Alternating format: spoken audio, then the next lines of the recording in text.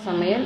இன்னைக்கு நாட்டுக்கோழி ஃப்ரை எப்படி பண்ணுறதுன்னு பார்க்க போகிறோம் அதுக்கு நான் ஒரு முந்நூறு கிராம் அளவுக்கு நாட்டுக்கோழி எடுத்து வச்சுருக்கேன். மஞ்சத்தூள் போட்டு நல்லா க்ளீன் பண்ணி வச்சுருக்கேன். சிக்கன் க்ளீன் பண்ணும்போது நிறைய மஞ்சத்தூள் சேர்த்து க்ளீன் பண்ணுங்கள் அப்போ தான் ஸ்மெல் இல்லாமல் இருக்கும். இஞ்சி பூண்டு பேஸ்ட் ரெண்டு டேபிள் ஸ்பூன் சின்ன வெங்காயம் ஒரு நூற்றம்பது கிராம் அளவுக்கு நல்லா பொடியை கட் பண்ணி வச்சுருக்கேன். மூணு தக்காளி ஒரு டேபிள் ஸ்பூன் பெப்பர் பவுடர் சோம்பு பவுடர் ஒரு டேபிள் ஸ்பூன் ரெண்டு ஒன்றரை டேபிள் ஸ்பூன் குழம்பு மிளகாய் தூள் எடுத்திருக்கேன். மூணு பச்சை மிளகாய் கொத்தமல்லி தாளிக்கிறதுக்கு அஞ்சு கிராம்பு ரெண்டு துண்டு பட்டை ஒரு அன்னாச்சி மொட்டு ரெண்டு ரெண்டு பிரியாணி இலை எடுத்து வச்சுருக்கேன். மா நாட்டுக்கோழி வந்து ரொம்ப ஹீட்டு அதனால தேங்காய் பாலில் பண்ணால் அந்த ஹீட்டு அவ்வளோவா இருக்காது. ஆனால் தேங்காய் பால் எடுத்துருக்கேன். சிக்கன் வந்து தேங்காய் பாலில் வேக வச்சாக்கா ரொம்ப டேஸ்ட்டாக இருக்கும். ஆனால் தேங்காய் பால் எடுத்து வச்சுருக்கேன். இப்போ எப்படி செய்யலான்னு பார்க்கலாம். ஃபஸ்ட்டு பட்டை கிராம்பு பிரியாணி இலை இதெல்லாம் போட்டுடலாம். அது கூடவே சோம்பு தூளையும் போட்டுடலாம்.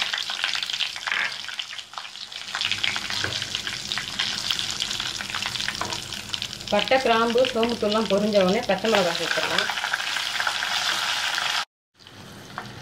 பச்சை மிளகாய் நல்லா ஃப்ரை ஆகிடுச்சு இப்போ வெங்காயத்தை சேர்த்துடலாம். வெங்காயம் நல்லா வதங்கணும்.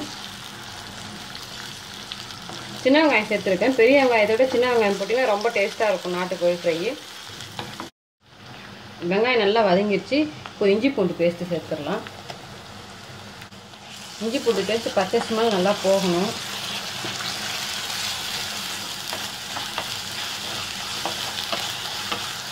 இஞ்சி பூண்டு பேஸ்ட் பச்சை ஸ்மெல் போயிடுச்சு. இப்போ தக்காளி சேர்த்துடலாம். இப்போது சிக்கனுக்கு தேவையான உப்பு சேர்த்துடலாம். உப்பு சேர்த்துட்டா தக்காளி சீக்கிரமாக குழஞ்சி நல்லா வதங்கிடும்.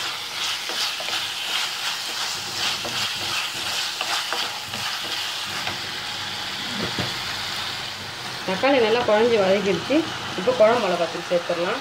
நான் ஒன்றரை டேபிள் ஸ்பூன் குழம்பு மிளகாத்தூள் வச்சுருக்கேன். நீங்கள் உங்கள் காரத்துக்கு தகுந்த மாதிரி நீங்கள் போட்டுக்கோங்க. மிளகாத்தூள் நல்லா பச்சை ஸ்மெல் போக நல்லா வதக்கணும். நாட்டுக்கோழி சேர்த்துடலாம்.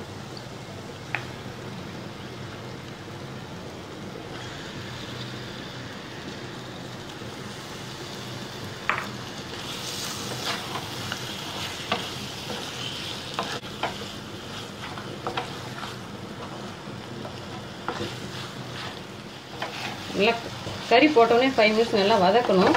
அப்போ தான் கறியில் இருக்கு மசாலாலாம் ஏறும். நல்லா வதங்கிடுச்சு இப்போ தேங்காய் பால் சேர்த்துக்கலாம். நீங்கள் தண்ணி சேர்க்கறதுனாலும் சேர்க்கலாம். தேங்காய் பால் சேர்த்தா ரொம்ப டேஸ்ட்டாக இருக்கும். நான் தேங்காய் பால் சேர்க்குறேன் நான்.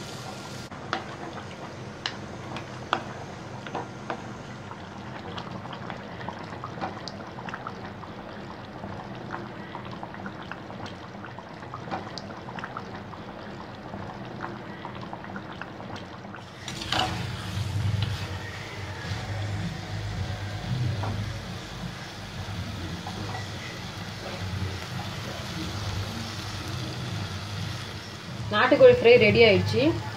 இப்போது இப்போ லாஸ்ட்டாக பெப்பர் சேர்த்துடலாம். பெப்பர் போட்டுருந்தா ஒரு கிளர் கிளறிடுங்க. கிளறிட்டு கொத்தமல்லி சேர்த்துக்கோங்க. ரெடி ஆயிடுச்சு. ட்ரை பண்ணி பாருங்கள் லைக் பண்ணுங்கள் ஷேர் பண்ணுங்கள் அபூர்வ சமையலுக்கு சப்ஸ்கிரைப் பண்ணுங்கள்